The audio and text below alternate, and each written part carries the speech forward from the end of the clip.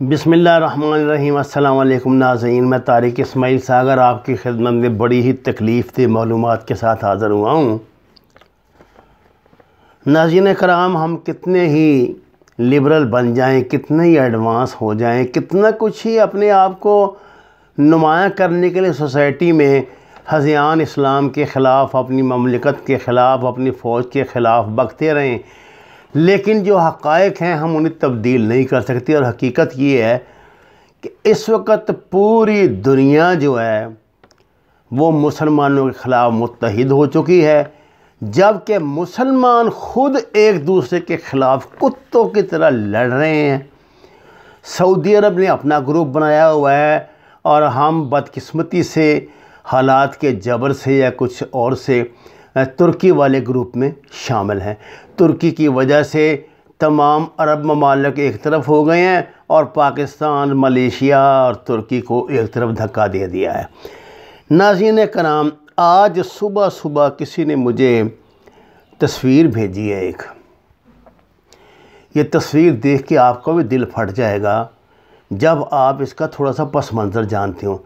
तस्वीर ये है कि पाकिस्तान से फ़रार करवाई की, करवाई जाने वाली आसिया मलूना, जो तकजीब रसालत की मरतकब हुई थी। और फ़्रांस का सदर बदतमीज़, बदबख्त सदर मैक्रोन बड़ी बेतकल्लवी से आपस में गुफ्तु फरमा रहे हैं। अजहार मोहब्बत या अकीदत के लिए फ़्रांस के सदर ने उसके बाजू पे हाथ रखा हुआ है। और बड़ी मोहब्बत और जिगर पाश नज़रों से उसकी तरफ़ देख रहा है। वैसे तो ये लोग इस तरह की बातों के लिए वैसे मशहूर होते हैं।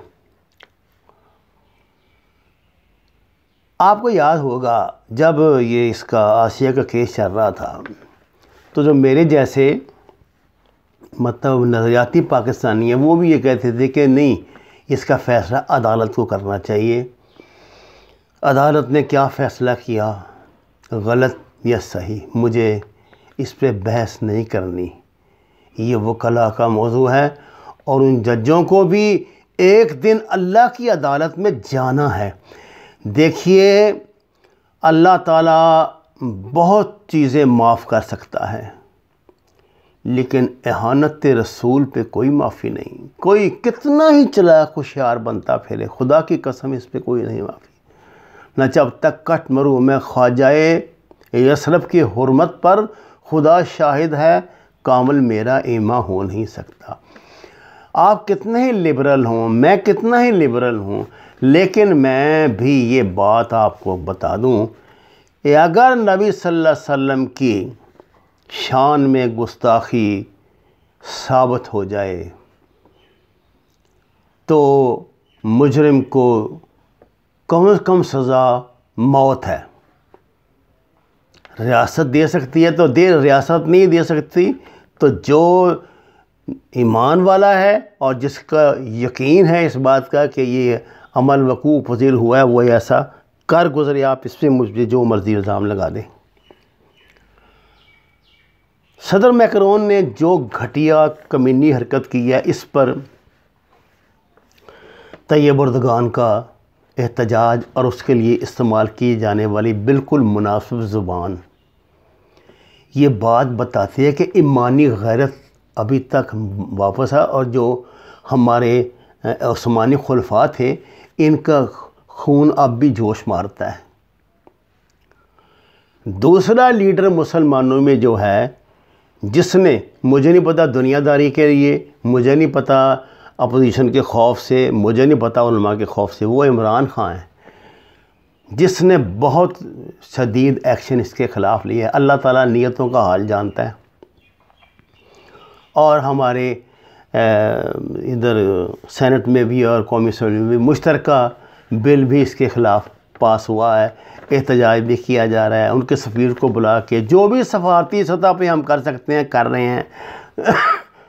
आलमी सतह पे मुसलमानों ने इनकी फ्रांस की मसनूआत का बाईकाट भी कर दिया है। ज़ाहिर है, ये ईमान की कमज़ोर तरीन शक्ल है, हम यही कर सकते हैं तो ये तो हम कर देंगे। लेकिन आप देखिए, ये छोटा सा अमल भी इतना मज, इतना असर रखता है कि आज फ्रांस की हुकूमत को अपील करनी पड़ी है कि बर मेहरबानी बाइकाट ख़त्म कर दें। इसके बजाय कि ये बदतमीज़ से उस पर माफ़ी मांगते अपने अमल पे इनके नज़दीक ये कोई बुरी बात है ही नहीं। अभी तक तो यही साबित होता है।